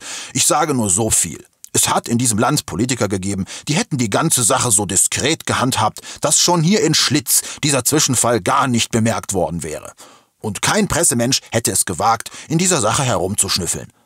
Oma Bertha nickte zustimmend.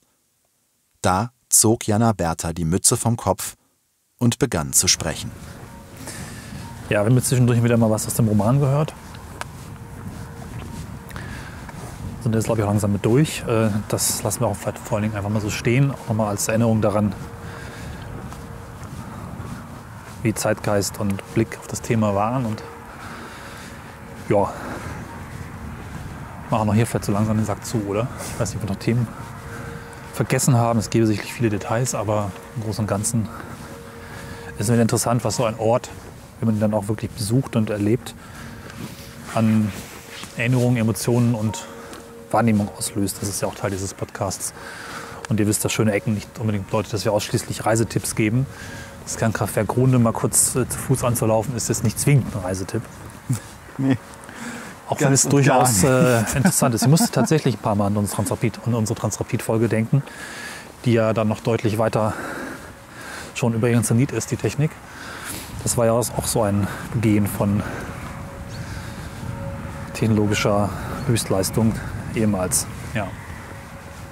Von dem Versuch, ja. Ja, von dem Versuch. In diesem Fall nur der Versuch. Kernkraft hat zumindest Strom erzeugt. Gut. Ja, wir versuchen ja immer wieder eine kleine persönliche Note da reinzubringen. Und das war jetzt eben ja, dein, dein Wunsch, äh, das mal zu thematisieren, weil es dich ja da doch in deiner Kindheit, Jugend in irgendeiner Weise überschattet hat, möchte ich jetzt fast sagen. Überstrahlt hat es ist das ja. Insofern, ja. Und zwar sowohl zeitgeisttechnisch als auch regional. Also das war ja beides mit drin. Deswegen ja auch diese Weserbergland-Tour mit vielen Erinnerungen. Wenn wir die Folge aus Hameln gehört haben, Erinnerst du dich denn noch an irgendetwas, was das Ganze vielleicht besser gemacht hat? Also wurden die Strompreise günstiger oder konntet ihr den Fernseher länger laufen lassen? Ich weiß ja nicht. wir hatten irgendwann Farbfernseher, vorher nicht. Gab es vielleicht vorher Stromausfälle oder Bei Chernobyl irgendwas? hatten wir noch einen Schwarz-Weiß-Fernseher, danach gab es einen Farb... Nee, gar nichts. Also es war einfach, ist einfach passiert und ohne größere Auswirkungen. Und für eine Region bedeutet Ähm, so ein Kernkraftwerk ja, ja. auch Arbeitsplätze, in gewisser Weise Wachstum. Das, ne? Also es wurde oft auch gesagt, die Gemeinde Emmertal, wir haben heute Morgen da Frühstück eingenommen, wäre sehr reich, weil das Kernkraftwerk unglaublich viel, was das Gewerbesteuer abwirft. Ja, mit Ne? Sicherheit. Und wobei es jetzt nicht so aussah, als wäre es super reich gewesen, sondern es war ein bisschen schäbig. Ja gut, reich ist man ja nicht, wenn man es ausgegeben hat. Naja, vielleicht haben sie es einfach gespart für die Zeit danach. Oder irgendwo investiert und verloren. Ja gut, aber Energie scheint ja durchaus für die Gemeinde ein Thema zu sein, weil Ja. hier stehen ja die Windräder. Also Sie haben ja schon Alle den Richtungen, Zahn der ne? Zeit Ja. erkannt. Und ähm, In alle Richtungen sichtbar. da haben wir eigentlich schon gesagt, dass das jetzt in einem Jahr abgeschaltet werden soll. Also wir sind Ja, im Jahr anfangs, 2020. Ende 21 soll es abgeschaltet werden. Und genau, wir sind jetzt, das war jetzt quasi ein, äh, die letzte Ehre erweisen. ja. Danke Und, für den Strom, den du uns gegeben hast. ja. Danke, Grunde. Nee, eigentlich war es ja nicht Grunde, es war Jetzt das Ding kannst du daneben. gehen, du hast Ja. deine Schuldigkeit getan. Es hat auch ein beruhigendes, befriedigendes, positives Gefühl für mich, dass ich es wahrscheinlich überlebt haben werde dann nächstes Jahr. Ne? Also das Kraftwerk, die aktive Zeit. Das hat dich eine, eine Zeit deines Lebens begleitet und jetzt erlebst du, wie es in die Ja. ewigen Jagdgründe eingeht. Ja. Naja, der Rückbau wird wohl noch so 20 Jahre dauern. Aber auch Ich das mir kann man noch erleben. vorstellen, wie macht man sowas eigentlich? Also da ist Weißt ja, fängt an, eine Schraube dreht sie raus, guckt, ist die verstrahlt und so weiter. Ne? ja ne? so, genau so stelle ich es mir vor. Du Leider musst ist es so. Je, weiter du quasi zum Kern des Kernkraftwerks, also zum eigentlichen Reaktor vordringst, wo die Brennstäbe halt sind, desto mehr hast du ja eigentlich äh, verstrahltes Material, was ja dann auch irgendwo hin muss. Also wir sprechen ja hier eigentlich nicht nur von einer Endlagerung der eigentlichen Brennstäbe, Ja. sondern auch der Reaktor muss ja in irgendeiner Weise irgendwo entgelagert werden. Weil die Rohstoffe daraus, die sind ja auch, weiß ich nicht, wie lange die noch aktiv sind. Lange. Wenn ich, wenn ich überlege, in nahe meiner Heimat Langenfeld ähm, gibt es ja von, in, der- in der Nähe des Campparks von Bayer gibt es so ein Gebiet, da ist auch Atommüll irgendwie mal, oder es, auf jeden Fall ist es irgendwie radioaktiv, das Gelände. Und da ist irgendwie zu berechnen, dass es irgendwie mehrere tausend Jahre dauert, bis auf dem Gelände irgendwie Wohnhäuser oder irgendwas gebaut werden darf. Die Frage ist, ob wir das überhaupt erleben, also ob das die Menschheit an sich überhaupt Ja. erlebt, dass man tausend Jahre auf irgendetwas. Wobei das ist auch immer so ein schöner Hoffnungsfunke, ne? dass man dann nicht sagt, ach komm, ist doch eh egal.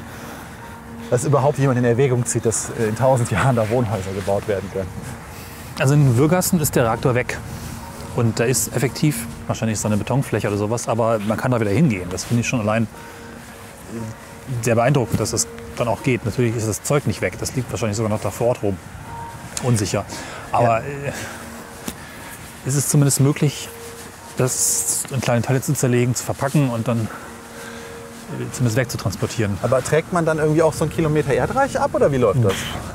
Das kann sein. Ich weiß es ja nicht. Also Kilometer nicht, nee. Also Im, Im Falle von Tschernobyl, gut, da ist ja, Ist da ist es ja geleckt. Ne? Also insofern, das kann man jetzt nicht mit dem normalen Rückbau eines nie durch einen Fehler gelaufenen äh, Kraftwerks verurteilen. aber ich finde auch die Worte, die halt dann gewählt werden. Ne? So, man spricht ja beim, beim, beim Kernkraftwerk da in Tschernobyl gerne von dem Sarkophag, Ja. der da gegossen wurde, um dieses Ding einzuschließen, weil man es halt nicht abtransportieren konnte, so wie es halt nun mal war. Und allein der Name sagt ja schon, es ist ja schon bewusst gewählt. Ne? Ein Sarkophag kommt halt von, Ja. von alten Kulturen her, die ihre Verstorbenen irgendwie für Tausende von Jahren konservieren wollten, beziehungsweise der Nachwelt halt erhalten wollten. Und jetzt nimmt- benutzt man das Wort halt, um klarzumachen, hier, hier muss etwas versiegelt werden, was auch noch äh, hunderte Ja. von Generationen nach uns beschäftigen wird. Und da finde ich ja auch, ich glaube, wir hatten es schon mal in irgendeiner Folge erwähnt, finde ich ja aus einem gestalterischen Aspekt auch sehr interessant, dass da Bestrebungen sind, ein, eine Kommunikation zu finden, die klar macht, hier Atommüll, hier nicht buddeln, hier nicht Ja, das hatten hingehen. wir auch schon irgendwo. Ja. Das hatten wir schon mal. Also nicht, wer sich nicht mehr erinnert, ähm, es gibt ja in der Gestaltung das Problem, dass man nicht davon ausgehen kann, dass in der Zeit, die das Ganze halt noch problematisch sein wird, also wir sprechen hier von Tausenden bis Millionen von Jahren, dass unsere jetzige Sprache und unsere jetzige Symbolik noch in irgendeiner Weise verstanden wird. Also sei es jetzt, dass irgendwelche nachfolgenden Lebewesen, die sich entwickeln, äh, irgendwann diesen Planeten übernehmen. Also so weit wird da gedacht. Ja. Und dann muss man halt eine Symbolik finden, die nicht auf Schriftzeichen basiert, die halt erstmal entziffert werden müssten. Oh, eine sondern abgesperrte Tür, da ist vielleicht ein Schatz dahinter. Genau, ne, wo halt irgendwie etwas drauf gemalt wird, das klar macht, hier lauert nichts weiter als absolutes Verderben und der Tod. Und ich meine, das haben auch äh, die Ägypter versucht. Das Ja. haben auch die Inka versucht. Und das hat bei uns auch Wie nicht gut, dass in den. Pyramiden nicht radioaktive Abfall war. Glaube ich. Wer weiß. Ähm, Wer weiß. Also ne, der Fluch Ja. des Pharaos äh, gibt sehr interessante Dokumentationen darüber, dass das halt vor allem irgendwelche äh, Bakterien, Schimmelpilze, was auch immer waren. Klar, die werden damals dann nicht bewusst eingeschlossen worden sein. Aber wer weiß, was dann in Millionen von Jahren darüber erzählt wird. Ja, da, wir haben da so eine, wir haben da von einer längst untergegangenen Zivilisation haben wir da so eine, eine Höhle entdeckt. Da waren Fässer drin und wir sind alle krank geworden.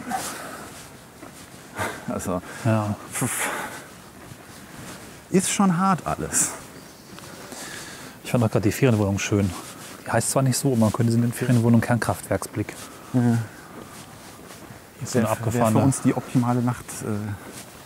Äh, ja. Gewesen. Nein. Naja. Ja, würde ich sagen, machen wir mal einen Sack zu. Ne? Also, Ja, ich hatte noch einen Gedanken gerade, aber der ist jetzt auch weg. Ach doch, einen vielleicht noch. Ich fand es ist auch interessant, dass man das Wort Rückbau verwendet und nicht Abbau.